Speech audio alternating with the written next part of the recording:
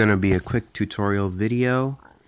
This is gonna be a quick tutorial video on how to use the VideoShow app. Basically, what you want to do is if you're gonna edit a video, press the Edit Video button. My phone is going a little bit slow right now, but that's okay. Then next, what you want to do is you want to, if you want to just get a bunch of videos, whatever videos you do have on here, you can start clicking those folders and clicking basically whatever you want. I don't even care. Um, but today I'm just going to be showing you how to make your own thumbnail. So what you do is, say for example, you took, uh, say, say you, um, No problem. let's see, what's a good video? Oof, oof, oof. Okay. I'm gonna go to my downloads to kind of see how this works a little bit. Okay, give me one second. Alright, so I had to cut out there for a second, but you know what? It's okay.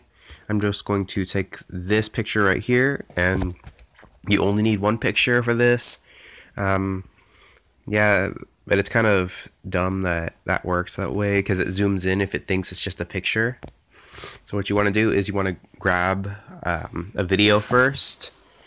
So for instance, like go to your oops, go to your videos and hit just hit anything, and it won't zoom out anymore. Then you press uh, the check mark, and if you're afraid that this stuff is gonna like be really bad for your um, okay, so take a look at this. Take a look at this. So you can, if you switch them out, then it won't be a bad idea. Then all you have to do is just kind of click it right there, and kind of make sure that it's um, not going to zoom in like a normal picture would. And let's see if it does. Let's see if it does. If it does, then we're going to need to delete it. Yep, it's gonna it's zooming in or zooming out. So what we're going to need to do is delete this picture and then grab another one.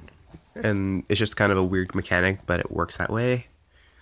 Go back to downloads or wherever you're getting it from.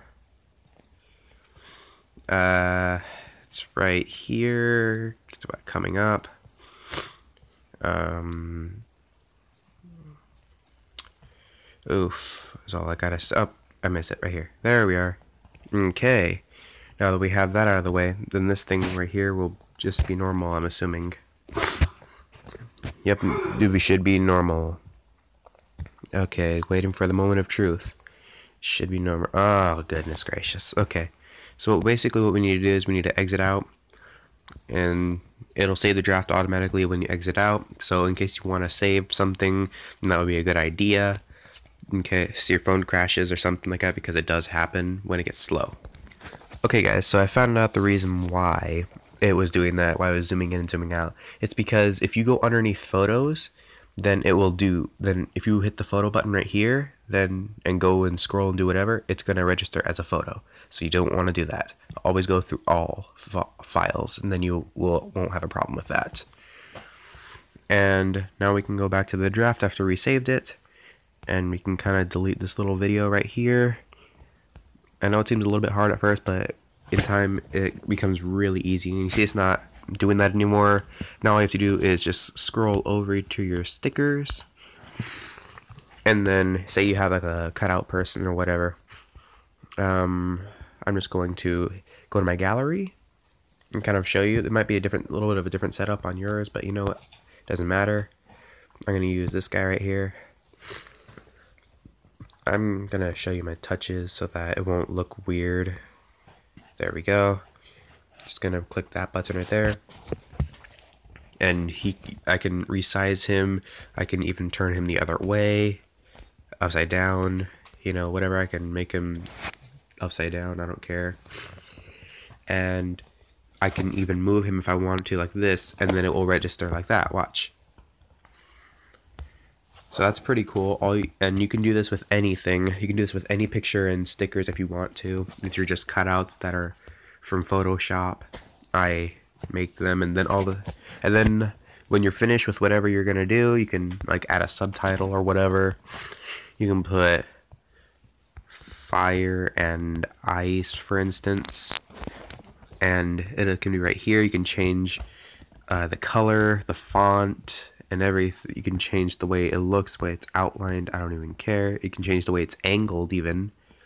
You can change the capacity of what it is, if it's supposed to be faded or not. The, the colors I like to use are mainly red and blues. So I just kind of stick this right here. I can put fire and ice. And when you are completely done, it's you hit watermark and usually if you take off the watermark then you still have to um, you have to pay for it. So what I do is I just take this right here. I'm gonna move this down here. But if I I usually take a screenshot like this. Oops hang on give me a second. I usually take a screenshot of this. Uh, it's not working. Okay I took a screenshot. And then next I just exit out of the VideoShow app. And I go straight to my gallery.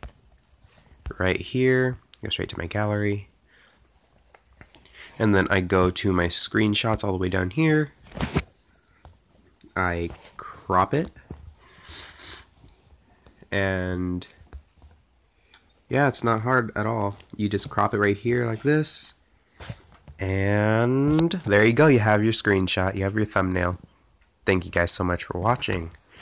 And actually, I'm not done with it yet because the best way to get it onto your phone is to use the YouTube Studio app. So, for instance, say I wanted to, um, let's see, go right here. I wanted to make this right here a different. I just hit the edit button right up top and I edit thumbnail. And then I can change by going to whatever is the newest or whatever. I can put this and it's perfect size. And that's that's pretty much it, guys. Um, and yeah, I'm not saving this, of course, but you know what I'm saying. Um, and yeah, and that's gonna be that's gonna do it for this video. Thank you guys so much for watching. Subscribe, and I'll see you guys next time.